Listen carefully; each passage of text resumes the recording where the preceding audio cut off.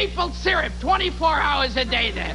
It's a maple syrup country. It's, they live off maple syrup. You get off the plane, they go, well, long flight? I suppose you'll be wanting your maple syrup now. Ah, how would you like your maple syrup? Little jars of maple syrup, perhaps?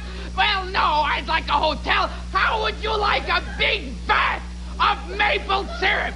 Well, no, place to put my luggage. Would you like little jars of maple syrup with Northwest Mounted Police that you squeeze it and it squirts out of their heads?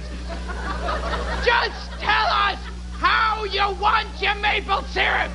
That's all we need to know. Because years ago, Canadians were walking through the forest and they saw a tree that had goo dripping out of it. And they said there's some weird, disgusting goo dripping out of that tree. Let's eat it!